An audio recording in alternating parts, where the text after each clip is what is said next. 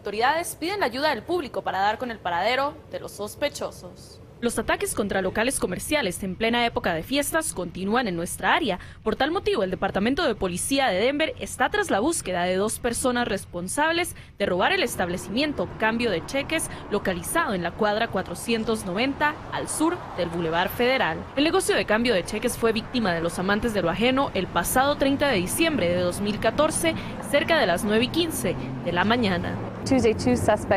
El martes dos sospechosos robaron un negocio al sur de la Federal. Afortunadamente se detuvieron en otro negocio cercano, donde pudimos obtener algunas fotografías de ellos, las cuales esperamos que alguien del público pueda reconocer y nos ayude a identificar estos individuos. El primer sospechoso ha sido descrito como un hombre de raza blanca de entre 22 a 29 años de edad, mide 5 pies, 10 pulgadas, vestimenta negra, llevaba una sudadera con capucha negra y guantes negros. El segundo sospechoso también ha sido descrito como un hombre de raza blanca de entre 22 a 29 años de edad. Mide 5 pies 7 pulgadas y llevaba una sudadera con capucha de color gris. De acuerdo a informes por parte de las autoridades, los sospechosos huyeron al sur de la calle de Catur y al oeste de la avenida Virginia a pie.